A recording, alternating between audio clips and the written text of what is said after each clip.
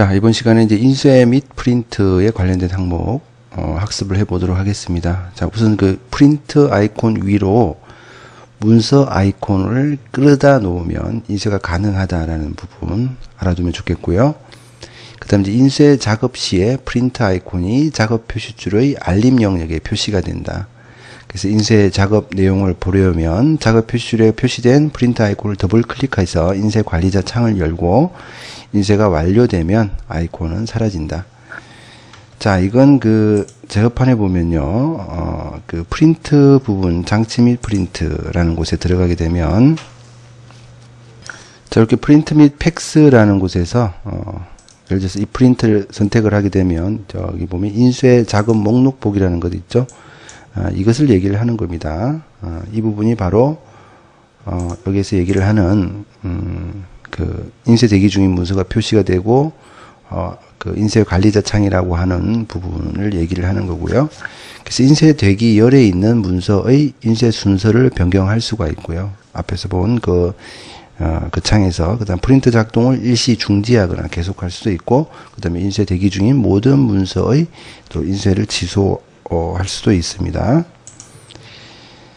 자, 이런 얘기죠. 여기서 보면, 예를 들어서 여기 이제 그 인쇄 대기열에 여러 가지 문서가 올라가 있다고 했을 때, 이제 우리가 인쇄를 실제로 진행할 때, 프린트 할 때 얘기죠.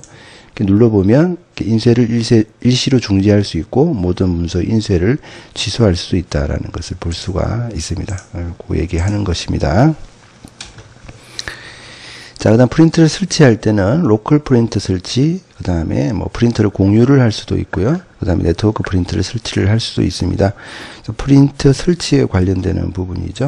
자, 여기에서 자, 프린트 추가라는 것을 클릭하고요. 로컬 프린트로 추가할 것인지, 그 다음에 네트워크 프린트를 추가할 것인지 선택해서 추가를 할 수가 있고요.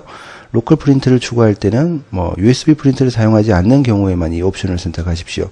USB 프린트는 연결하면 자동으로 설치가 됩니다. 그래서 자동으로 드라이버가 업데이트되고 설치가 된다라는 얘기고요. 네트워크는 그 컴퓨터가 네트워크에 연결되어 있는지 확인한 다음에 이제 어, 선택을 하고 어, 네트워크에 있는 프린트를 찾아서 다음 다음 다음 눌러서 진행을 하면 되겠죠. 자, 이것이 이제 그 음, 로컬 프린터냐 네트워크 프린터냐라는 것을 에, 설정하는 부분이고 네트워크 프린터로 연결이 되면 이렇게 네트워크 연결되었다는 표시가 나타나고요. 그 다음에 기본 프린터는 체크 표시가 나타납니다. 기본 값이라고 나오죠. 그 다음에 네, 어, 프린터가 공유가 되면 이렇게 공유되었다는 아이콘이 나타나게 됩니다. 자, 속성에 들어가게 되면 속성이 아니죠. 프린트 속성에 들어가게 되면 공유라는 곳이 있습니다. 여기서 이 프린트를 공유하게 되면 프린트를 공유해서 사용할 수도 있다라는 것을 알 수가 있습니다. 자, 그것에 관련된 내용이고요. 자, 그 다음에 이제 기본 프린트, 앞에서 본 그 체크 표시 나타난 프린트 있죠? 이, 이 프린트, 이 프린터, 기본 프린터. 자, 이 기본 프린트라는 것은 인쇄할 때, 특별히 프린트를 지정하지 않았을 때 자동으로 사용되는 프린트를 기본 프린트라고 한다. 우리가 인쇄 뭐 예를 들어서 뭐 MS 워드에서 인쇄 버튼을 눌렀을 때 특별하게 다른 프린트를 지정하지 않으면 이 기본 프린트로 프린트가 된다라는 얘기고요. 프린트 아이콘을 선택한 다음 바로 가기 메뉴에서 기본 프린트로 설정을 선택을 한다. 자, 이렇게 기본 프린트를 설정 선택을 하게 되면 기본 프린트가 되는 겁니다. 자, 기본 프린트는 사용자 임의로 변경하거나 삭제 가능하고요. 기본 프린트는 한 컴퓨터에 한 대만 지정할 수 있습니다. 당연한 얘기죠. 프린트 명령을 내렸을 때 하나만 지정이 되어 있어야지 그 프린트로 어, 프린트가 될 거 아닙니까? 그죠?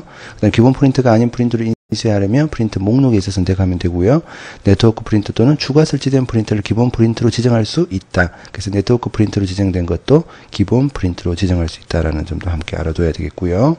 자, 그 다음에 이제 프린트에는 spool 기능이라는 것이 있습니다. 이것은 중앙 처리 장치의 명령을 보조 기억 장치 하드디스크에 저장을 해두고 어, 그 명령을 주변 장치로 전달해서 처리하는 방식 spool 기능이고요. 어, 이것은 역시 중앙 처리 장치 속도와 프린트의 속도 가 차이가 많이 나기 때문에 이 속도 차를 보완하기 위해서 나타난 기능이죠. 그래서 프린트 반응을 기다릴 필요 없이 컴퓨터는 다른 작업을 바로 수행할 수 있고 주변 장치도 자신의 속도에 맞게 프로그램을 수행할 수 있어서 작업 효율을 높일 수가 있다라는 것이고요. 자, 예전에는 spool 기능이 지원되지 않을 때는 프린트 작업이 되는 동안에는 컴퓨터를 쓸 수가 없었습니다. 그래서 프린트 등 출력 장치에 적용하는 것을 출력 spooling이라고 하고 이를 수행하는 소프트웨어를 spooler라고 한다.